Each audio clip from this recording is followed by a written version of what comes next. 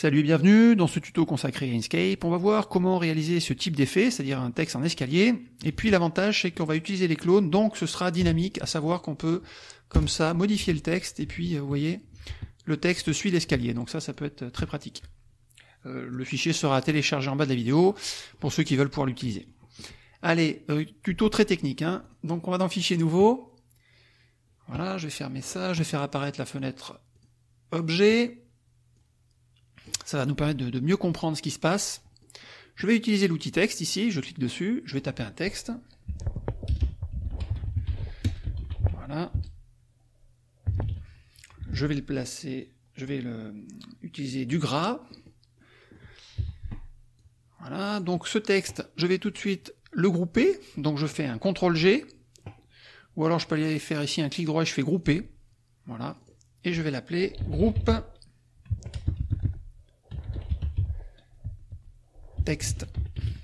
J'appuie sur Entrée pour valider. Et je vais le cloner. Donc pour le cloner, on clique là-dessus. Voilà, on a un clone qu'on va tout de suite renommer clone texte 1. Et le clone texte 1, on va pouvoir le déplacer vers le haut comme ça. Maintenant, on va créer un carré. Donc pour créer un carré, on clique là-dessus. Voilà, on se met à peu près à cet endroit-là. On va cliquer glisser. Voilà, là, c'est à peu près bon. On va créer encore un groupe en cliquant là-dessus. Mais avant de faire ça, je vais aller dans fond et contour. Et ici dans fond, on va choisir fond indéfini. Donc automatiquement il devient noir. Voilà, une fois que c'est fait, donc je crée un groupe. Donc pour créer un groupe, c'est comme tout à l'heure, on peut cliquer là-dessus, hop, ou CTRL G. Je vais le renommer groupe carré. Voilà. Je crée un clone, encore une fois, hop, je le mets là. Alors l'avantage d'avoir créé un fond indéfini, c'est que maintenant je peux appliquer une couleur à ce clone. Voilà, je vais mettre une couleur bleue. Et je vais l'appeler clone rectangle bleu. Alors j'appelle rectangle parce que après on déformera ce carré. Voilà, rectangle bleu, parfait. On va le placer correctement à cet endroit-là. Voilà, ici c'est parfait. Je vais dupliquer cet objet CTRL D. Je le déplace. Donc là, ce sera un rectangle rouge. Ah, petit souci. Voilà, rouge. Je mets tout de suite la bonne couleur. Euh, je vais sélectionner les deux objets, je vais les dupliquer CTRL D, et je vais les déplacer vers le bas, et grâce au magnétisme, ils sont placés correctement. Donc ça, c'est vraiment une bonne chose de fait. On va sélectionner tout ça, on va créer un clone encore, ou dupliquer, c'est pareil, là c'est pas. Voilà, on duplique, pardon. Donc je clique, je glisse en appuyant sur CTRL. Là, je vais faire un petit retournement horizontal en cliquant là-dessus, ou on peut appuyer sur H. On va sélectionner les deux objets. On va cliquer une deuxième fois sur un des objets, de façon à voir ici les petites flèches d'inclinaison. On clique sur la flèche d'inclinaison, on appuie sur CTRL et on va glisser, comme ça, de 30 degrés. Alors comment je sais ça? À cet endroit-là, vous voyez mon curseur, il va y avoir des informations. Donc si je clique et je glisse, vous voyez, on a une information sur l'inclinaison. Et si j'appuie sur CTRL, je vais pouvoir faire une inclinaison de 15 en 15. Donc là, je suis 30 degrés, c'est parfait. On sélectionne euh, ces objets, là, ces cinq objets. On clique encore pour avoir les flèches de rotation. Je clique, je glisse en appuyant sur CTRL, et je fais une rotation de 30 degrés. Encore une fois, il faut regarder ici les informations qui s'affichent. Je sélectionne ces cinq objets, petit retournement horizontal, je clique pour avoir les flèches de rotation, je clique, je glisse en appuyant sur CTRL, et encore une fois, je fais une rotation de 30 degrés. Donc c'est parfait. On va maintenant supprimer ici les deux carrés rouges.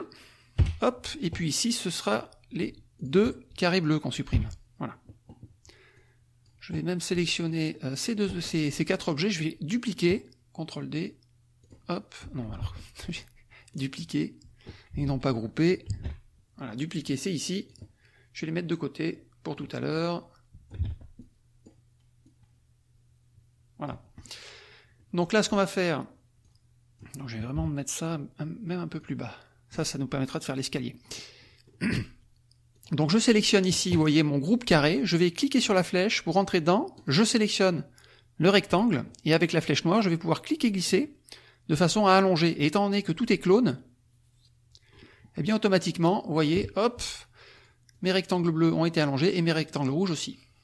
Là, ce que je souhaite faire, je souhaite mettre le texte ici à l'arrière, même tout en bas. Je fais ça ici et je fais ça là. Maintenant, ce qu'on va faire, on va sélectionner encore notre texte, on va créer encore un clone, alors en cliquant là-dessus. Alors le clone vient se, mettre tout en haut de la pile, alors moi je vais le mettre en bas, voilà. Et je vais sélectionner un rectangle bleu. Vous voyez, donc j'ai un rectangle bleu sélectionné et un clone texte 1. Je fais un clic droit et je fais définir une découpe. Je sélectionne encore mon rectangle bleu, je sélectionne euh, mon texte, on vérifie que j'ai bien sélectionné ce qu'il fallait. On peut faire un clic droit aussi ici, on fait définir. Voilà. On va faire la même chose pour ici, donc on va dupliquer encore ce texte, vous voyez, je duplique en cliquant là-dessus, on va le placer tout en bas, je sélectionne un rectangle rouge, clic droit, définir une découpe. Pareil, je clique sur le rectangle rouge, sur le texte, clic droit, définir une découpe. Voilà, vous voyez, on a pratiquement fini. Je sélectionne tout ça, je vais pouvoir le placer correctement, donc je mets ici, je zoome en cliquant sur la molette de la souris et je vais pouvoir placer les éléments. Donc je sélectionne cet élément-là et je vais cliquer ici et glisser de façon à le mettre correctement. Alors étant donné que c'est un outil texte qui n'est pas converti euh, et puis qui est inclus dans une découpe, il n'y a pas le, magnétisme ne fonctionne pas. Bon, c'est pas très grave. On va pouvoir zoomer. On peut zoomer jusqu'à 25 600%, il me semble. Voilà, c'est marqué ici. Hein. Donc euh, je pense qu'on peut être assez précis. Donc je clique, je glisse, voilà, c'est pas mal. Et je vais faire la même chose ici.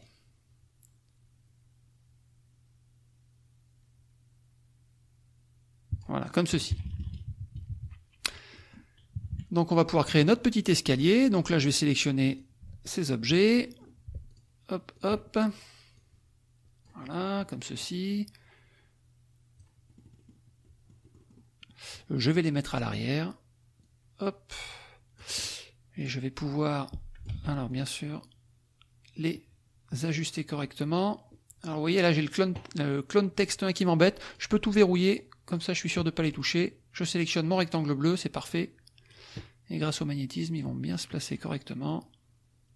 Voilà, c'est parfait.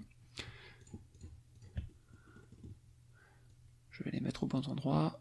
Voilà, comme ceci. Alors maintenant, ce que je peux faire...